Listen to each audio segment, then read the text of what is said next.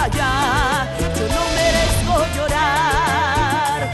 Déjame surgir en Lili, ay amiga, ¿cómo estás? Recién nos dejan usar el teléfono. ¿Sabes algo de Pedro? Amiga, estoy en la entrada. Debo dejar mi celular en seguridad. Anda al pabellón. ¿Pero por qué? Si no es día de visita. Tú anda nomás. ¿Aló, Lili?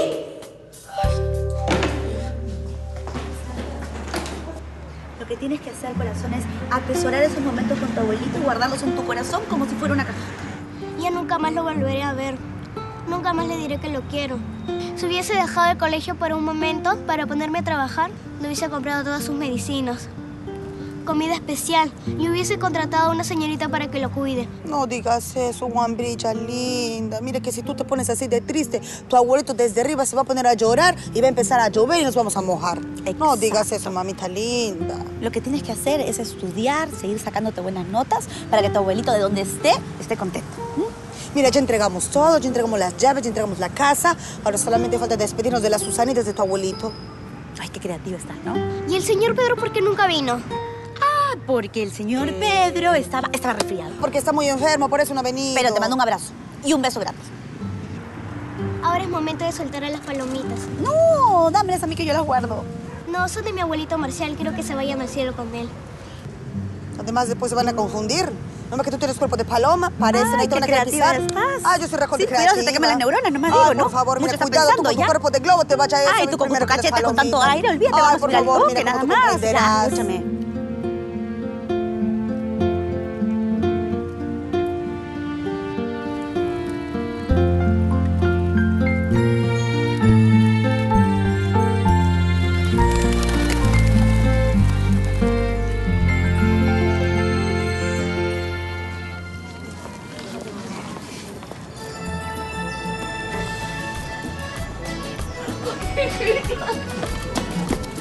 escúchame. Mi amor. Hola, mi amor.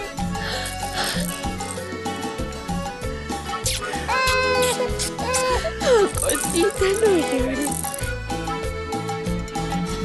Solo una mirada. Pedrito, causa. Señor, ¿Qué te pasa? señor. Por favor, silencio. Estamos en un hospital, no en el estadio. Perdóneme, señorita. Lo, lo- lo que pasa es que le hemos estado buscando hasta debajo de las piedras. A mi causa. ¿Qué le pasa? ¿Una, una manada de elefantes encima? Sufrió contusiones graves en todo el cuerpo a causa de un accidente. No, no un accidente. Fue Lázaro.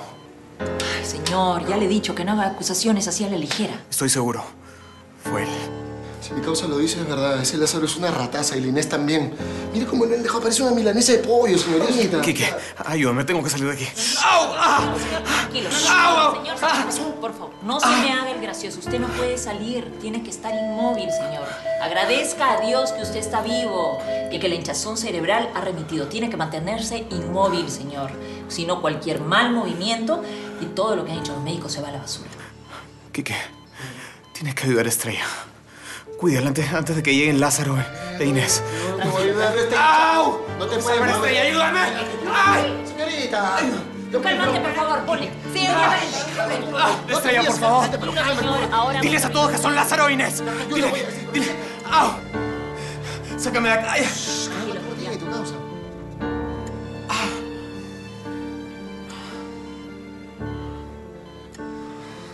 Doctora, ¿qué tan grave ha sido el accidente, eh? Bueno, ha sido gravísimo, pero lo, lo raro es que el señor estaba en una calle poco transitada. De repente entró un carro y aceleró justo cuando él estaba cruzando la calle. Además parece un buen hombre. ¿Quiénes son Lázaro e Inés? No sabes la alegría que me das. Pensé que me iba a morir de la tristeza. No, amiga, yo no iba a permitir que esa bruja se quedara con tu bebé. Ay, mi amor. No sabes cómo te he extrañado, Cholita linda, mi vida. Ya no nos vamos a volver a separar, ¿ya? Ay, mi amor, preciosa, hermosa. Ay. Lili, ellas son la gata y cuchilla, son mis amigas. Tranquila nomás, ¿ah, Morena? Que acá la nuevita la cuidamos bien. Está chévere tu chivola. Lucerito, no te preocupes ya, que acá vas a tener un montón de tías y un montón de madrinas. Ay, agua. Estrella, tengo algo que contarte. Dime. Don Marcial, el abuelito de Yasmín, ¿Qué pasó con el señor? Si supieras. El celular del señor no tiene arreglo. Ya hemos chequeado con varios técnicos y no, lamentablemente no hemos podido recuperar la información. Bueno, pero los celulares están baratos, ¿no? Él quería ese celular con urgencia. Él me dijo que había reunido pruebas de que la abogada de la señora Estrella estaba en complicidad con su ex esposo. ¿Ah, qué? O sea, la doctora Rato estaba en chanchullo con el Lázaro. Él me dijo que había tomado fotos. Ah, claro, por eso quería la cámara, pues, y ahora ya no sirve. Bueno, pero igual vamos a denunciar a esos dos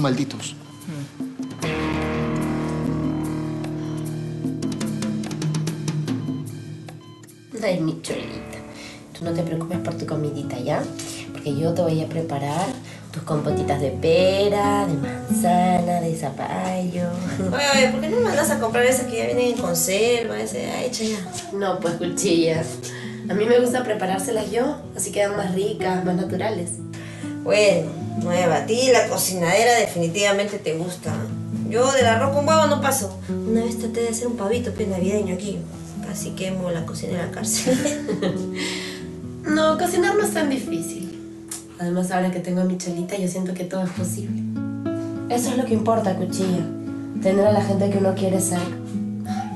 Por eso entiendo a Yasmincita. Ella es una niña tan obediente, tan buena. Ahora sin su abuelito, debe sentir que le falta la roca en donde apoyarse. Por eso yo pienso que mejor es no querer a nadie. Así no te decepciones, ¿ve? Ah, cuchilla, ya deja de hablar tonterías, ¿ya? ¿Quieres cargarla? No, gracias. Cárgala. No, no, no, se me va a caer. A ver, a ver, a Se ver. me cae, se me cae. Ay. Ahí está. No se cae. Ah, parece que le gustas. Tengo que romper la guagua. ¿Lázaro? ¿Y qué quiere él acá? No sé, está loco. Dice que se viene a llevar a tu chihuahua. Dice que la ha secuestrado. Me voy a romper la cabeza. No, no, no, no. Por favor, ustedes quédense acá. Yo le voy a decir sus verdades. Déjame romperle la cabeza, por lo menos. Chilla. Gracias.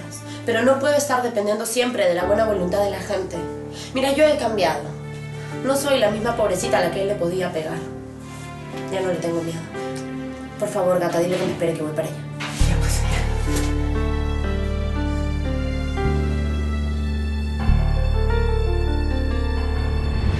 Basta ya, ya no quiero más tristeza